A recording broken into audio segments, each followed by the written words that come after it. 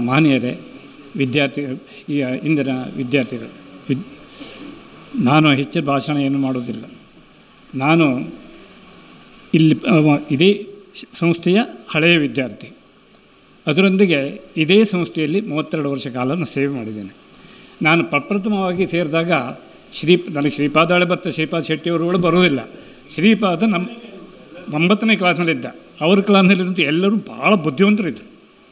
ಒಂದು ಸಮಾಧಾನ ಅಂದರೆ ನಮಗೆ ಅವರಿಗೆ ಭಾಳ ಸೇರ್ತದೆ ಶ್ರೀಪಾದ ಒಂದು ರೀತಿ ಭಾವನಾ ಜೀವಿ ಆಗಿದ್ದ ಯಾವುದಕ್ಕಾದ್ರೂ ಕೂಡ ಕೂಡ ಮನ ಮನಸ್ಸಿಗೆ ತಾಸ್ಕೊಂಡು ಬಿಡುವಂಥವ್ನು ಇವತ್ತು ವಿದ್ಯಾರ್ಥಿಯಾಗಿ ಅವರಿಂದ ಎಷ್ಟೋ ಜನ ಶ್ರೀಪಾದಿಂದ ಎಷ್ಟೋ ಜನ ಕಲ್ತರು. ಅವ್ರು ಪ್ರೊಫೆಸರ್ ಆದರು. ಅಂಕೋಲಾದಲ್ಲಿ ಸೇವೆ ಮಾಡಿದ್ರು ಹೊನ್ನಾವರಲ್ಲಿ ಸೇವೆ ಮಾಡಿದ್ರು ಸರಿ ಮಾಡಿದ್ರು. ವಾಸ್ತವಿಕವಾಗಿ ಈ ಗುರುವಾಗುವಂಥ ಕೆಲಸ ಸುಲಭ ಅಲ್ಲ. ನಾವು ನಮ್ಮ ವಿಷಯವನ್ನು ಕಲಿಸ್ಬೋದು. ಆದರೆ ಒಂದು ಮಾತದೆ, ಶಿಕ್ಷಕ ಚಲಿಸುವ ವಿಶ್ವಕೋಶವಾಗಿರಬೇಕು ಅಂತದ್ದು ಕಲೀಲಿಕ್ಕೆ ಕೂತ್ಕೊಂಥ ವಿದ್ಯಾರ್ಥಿ ಮನಸ್ಸಿನಲ್ಲಿ ಏನೇನೋ ಯಾವುದೋ ವಿಷಯ ಕಲಿಸಿದಾಗ ಏನೋ ಒಂದು ವಿಷಯ ಬರುತ್ತೆ ಪ್ರಾಬ್ಲಮ್ ಸಮಸ್ಯೆ ಬರ್ತದೆ. ಎದ್ದಿಂತ ಕೇಳ್ತಾನೆ ಅವನಾಗ ಆ ವಿಷಯಕ್ಕೆ ಸಂಬಂಧಪಟ್ಟಿರಬೇಕು ಕೂಡ. ಆದರೆ ಆ ವಿದ್ಯಾರ್ಥಿಗೆ ಆ ಸಮಸ್ಯೆಗೆ ಪರಿಹಾರವನ್ನು ಸೂಚಿಸಬೇಕು. ಅಂದರೆ ಶಿಕ್ಷಕ ಬಲ್ಲವನಾಗಿರಬೇಕು. ಅದು ನಿಜವಾದ ಬೇಕಾದ ಶಿಕ್ಷಕರಾಗ್ಬೋದು ಗುರುವಾಗೋದು ಸುಲಭ ಸುಲಭದ ಕೆಲಸ ಅಲ್ಲ. ಆ ಗುರುವಾಗಿ, ಅಂದರೆ ಅಂತಹ ಒಂದು ವಿಶಾಲ ಜ್ಞಾನ ಹೊಂದಿದ್ದರೆ ಮಾತ್ರ ಸಮಾಧಾನ ಪಡಿಸ್ಕೊಂಡು ಹೋಗ್ಲಿಕ್ಕೆ ಆ ದಾರಿ ತೋರಿಸ್ಬೇಕಾಗುತ್ತೆ.